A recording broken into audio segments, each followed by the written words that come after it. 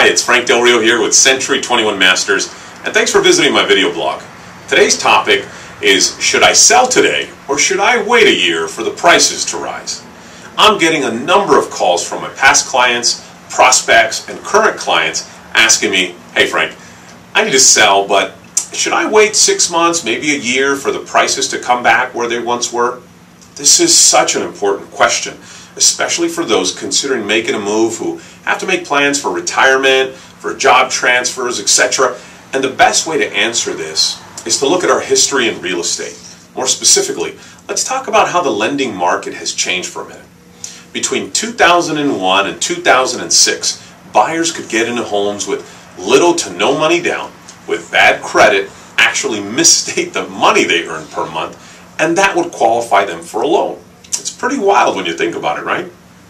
Then, back in February of 2007, the whole mortgage meltdown occurred. Do you remember that? Lending institutions cut out these crazy loan programs, realizing that homes were overvalued, seller had, had no equity, they couldn't afford to pay their payment, they were losing their properties.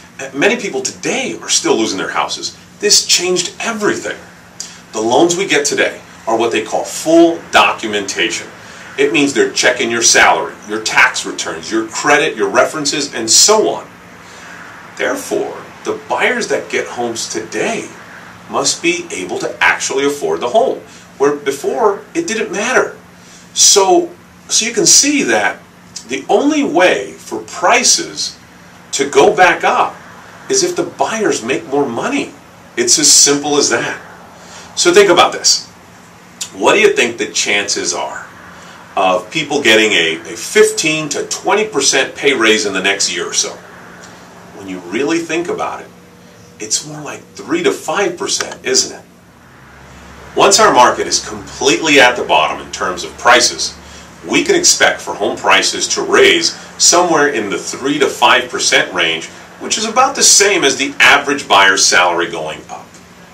Here's an example of a client I talked to last week. They have a property. Today it's roughly worth about $450,000 and they would like to get 600,000 for the property, which is where it once was in, back in the boom market about six, seven years ago. And they feel that if they wait a year, the prices will go back up to where they once were. Now, we already know that the only way for home prices to increase in the foreseeable future is for wages to go up. So let's take a look at the numbers and what that would look like at a 5% appreciation, considering that $450,000 was we were at the bottom of the marketplace. At 5% appreciation per year on 450,000, it's going to take roughly six years. By 2017, the client who wants $600,000 has to wait until 2017 to get that price.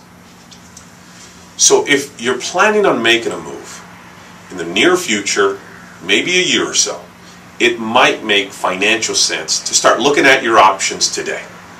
I hope this information was helpful and if you'd like to set up a time, maybe have a conversation about your situation and plans for selling in the near future, you can reach me on my private number 626-780-2705 or send me an email frank at frankdelriosales.com.